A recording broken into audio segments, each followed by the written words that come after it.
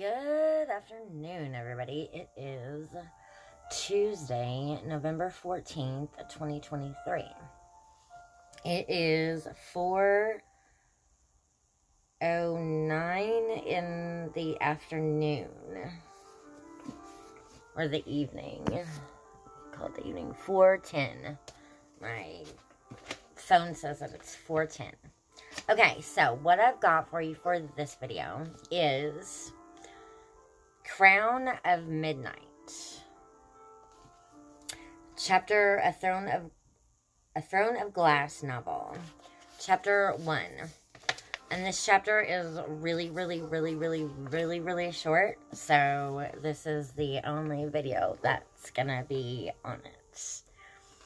Okay, so chapter 1 the shutters swinging in the storm winds were the only sign of her entry.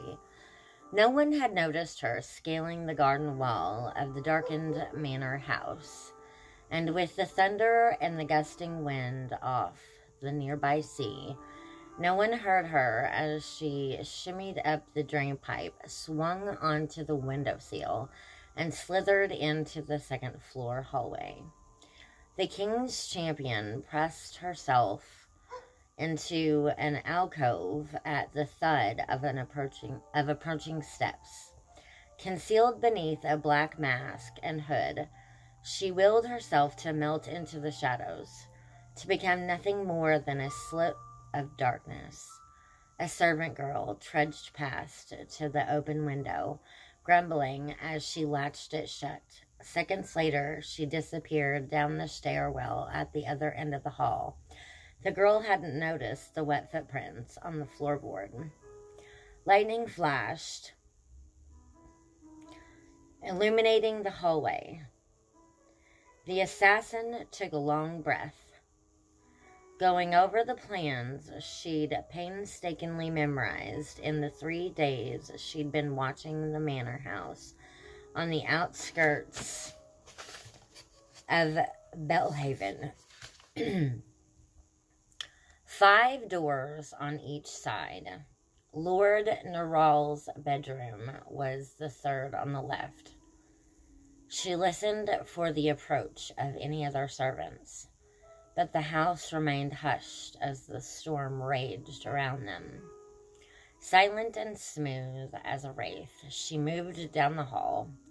Lord Nirall's bedroom door swung open with a slight groan. She waited until the next rumble of thunder before easing the door shut behind her. Another flash of lightning illuminated two figures sleeping in the four-poster bed. Lord Neral was no longer, or was no older than 35 and his wife, dark haired and beautiful, slept soundly in his arms. What had they done to offend the king so gravely that he wanted them dead?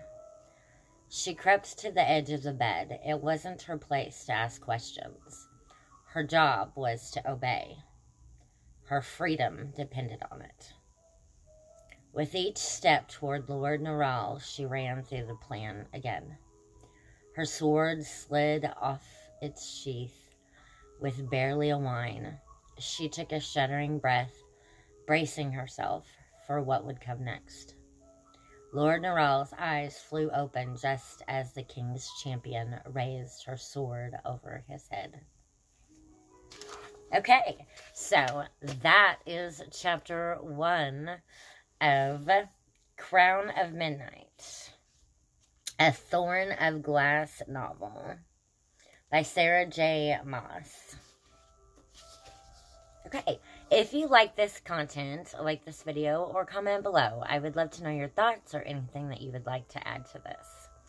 Now, don't forget to go out there and rainbow it. Flood the world with love, peace, joy, and charity. Thank you, and have a good day.